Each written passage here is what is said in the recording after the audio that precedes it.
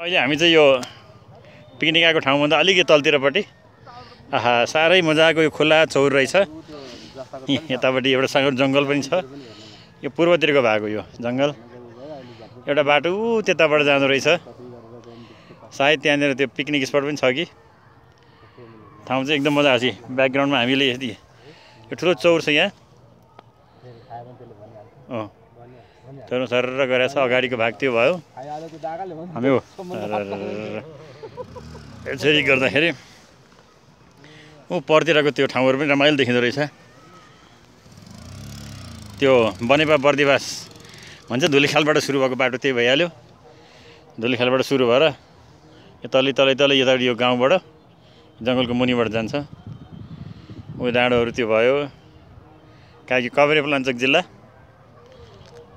Picnic आउनलाई चाहिँ यो पनि ठाउँ चाहिँ रमाइलो छ। टट्ट बसेर शीतल चिसो हावा आइरहेको छ। पिकनिक स्पट चाहिँ धेरै रहेछ नि यहाँनिर। पहिलेको त्यो पुरानो गभर्मेन्टको पिकनिक स्पट चाहिँ बन्द गरेछ। नयाँ नयाँ पिकनिक स्पटहरू खोलेर रमाइलो गरेर छ ऊ। विष्णु सर र नर सर चाहिँ यहाँनिर बसिरहनु भएको छ। दुबो छ यहाँ। हरियो भइसकेको छ यो सायद। त्यसैले गर्दाखेरि के छ तपाईँहरूको कुतुर कुतुर?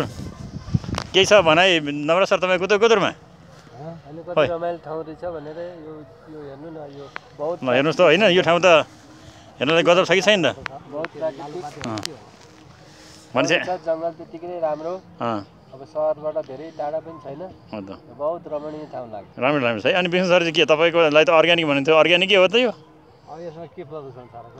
खै अब जङ्गलले सट्ट सबै लिइहाल्छ होला। प्रदूषण त प्रदूषण छ नि हेर्नुहोस् त यहाँ तलतिर यी प्लास्टिकहरूको प्रदूषण देखिरहेछ। होइन? त यस्तो ब- के अरे बतास पनि मन्द मन्द आइरहेछ मजा छ नि है? यहाँ यो चाहिँ जङ्गल यो सरकारी जङ्गल हो। कस्तो मजाको ठाउँ रहेछ ल। एकपल्ट यहाँ आयो भने दिल गार्डन गार्डन नै हुने रहेछ है?